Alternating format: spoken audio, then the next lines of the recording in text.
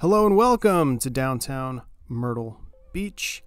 I'm going to show you guys yet another hotel property that the city of Myrtle Beach purchased recently in order to redevelop the downtown.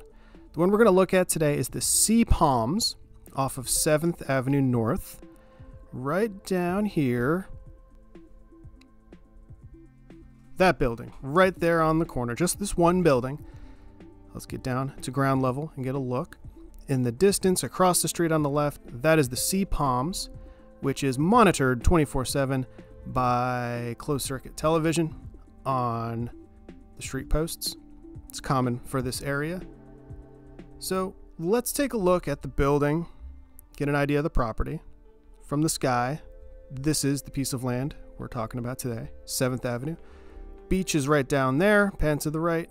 Here is the hotel motel in question. As you can see, we are very close to the beach, very close to the old pavilion slash boardwalk area. So the proximity of this hotel motel to the rest of the downtown is fairly tight. It's walkable for sure. One thing worth mentioning, since this is 7th Avenue, and the city of Myrtle Beach has been presenting different ideas for redevelopment in this area. One of the ideas is taking Highway 501 and just shooting it straight through to approximately 7th Avenue instead of taking that awkward turn in front of the hobby shop. You know what I'm talking about? When you hit the light at the end of 501 and you turn toward the old pavilion. So that is, you know, optional on the books. Across the street here, those two hotels, that's the Fontainebleau and the Oasis We've done previous videos on those two hotels, just like this one, so if you haven't seen those, go check them out. They're on the channel. But today, we're paying attention to the sea palms. And there are a good bit of palm trees, I'm not going to lie, surrounding this, this building. I find it funny that these palm trees are planted directly into pavement, or the pavement was installed around it. It's almost like they're bollards around the building. Very large, natural bollards.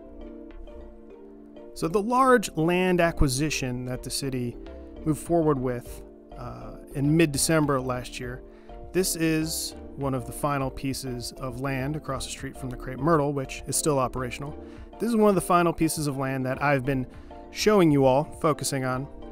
Uh, that was part of that package. I believe it was $15 million they paid for all these pieces of land. So if you're interested in the other hotels and properties, check out those videos that uh, were posted just a few days ago. Again, there's the ocean, there's the hotel. Uh, from the sky, this area doesn't look too rough, but at night, mm, questionable. I wouldn't be walking around here alone, honestly. So this building, assumingly, is going to come down.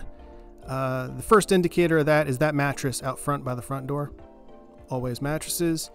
So if this building comes down, property gets redeveloped, what do you think they're going to do with this area? Are they going to stick to the redevelopment plan? Are they going to flip it to a developer for the right price? What do you think is going to happen? And with that, I'm going to say farewell, and I will see you in the next video, everybody. So until then, take it easy.